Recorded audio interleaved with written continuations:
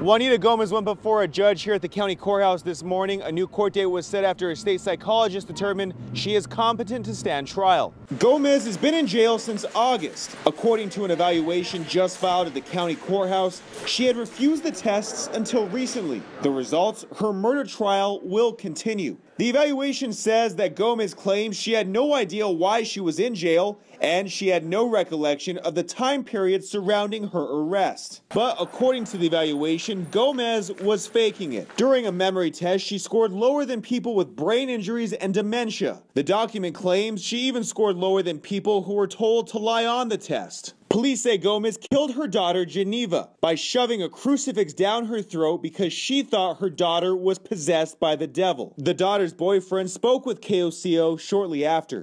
She just kept saying, mumbling, devil and money, devil and money. You know, like incoherent, like couldn't understand her. The evaluation documents say Gomez eventually acknowledged that she was accused of, quote, hurting Geneva. Gomez's new trial date is set for July 7th. Reporting from downtown Oklahoma City, Zach Royale, KOCO 5 News.